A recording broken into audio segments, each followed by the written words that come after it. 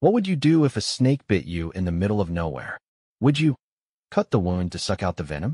Well, don't, because that old movie trick could actually make things much worse.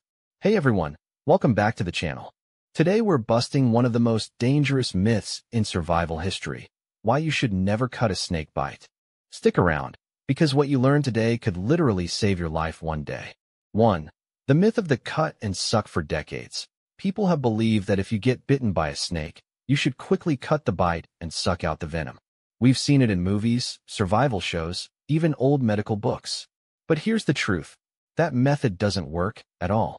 According to the Centers for Disease Control and World Health Organization, once venom enters your bloodstream, it spreads too fast for cutting or sucking to help. By the time you reach for your knife, it's already moved beyond the bite area. 2. Why cutting the bite is dangerous. So, what really happens when you cut the wound?